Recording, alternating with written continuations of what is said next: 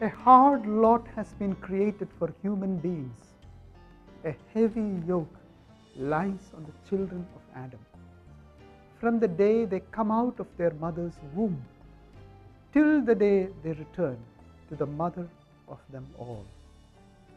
Sirach chapter 40, verse 1. Grace and peace.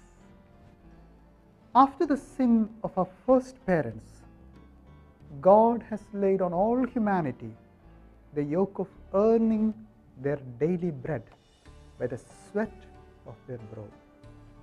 This heavy yoke, however, is made light in Christ.